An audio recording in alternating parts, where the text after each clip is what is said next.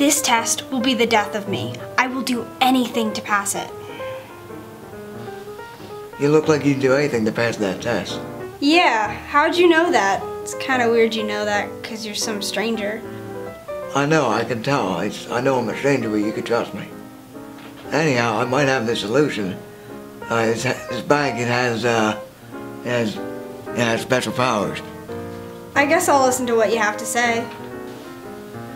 If you start using this bag now, you'll pass that test. Uh, there might be a small price to pay, but, um, yeah, you shouldn't worry about it. Uh, here you go. Cool. Thanks. I needed this. Um, how's it work? What's the price? You don't need to worry about it, I said. You just take the bag. It's not my problem anymore.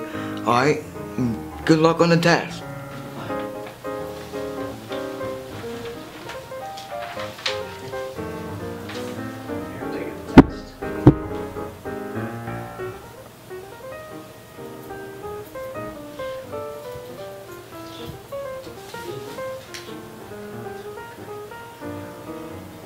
You've done the test, pencil down. Hey Nikki, can I see you for a second? Oh crap, what's this about? Well, I just wanted to tell you that you got 100 on the test. Wow, really? I can't believe it. Thanks. That was so worth it. What was worth it? I didn't see anything different.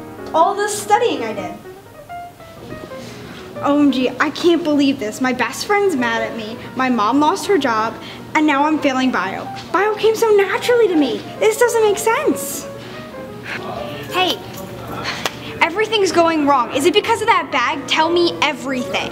Well, the bag is it's kind of cursed. It started years ago. No one really knows how. But the only way you can get rid of it is by giving it to someone. That's why I gave it to you. Really? I have to go give this bag to somebody right now. This is not going well. I think I learned a lesson here. Yeah, you really shouldn't trust strangers.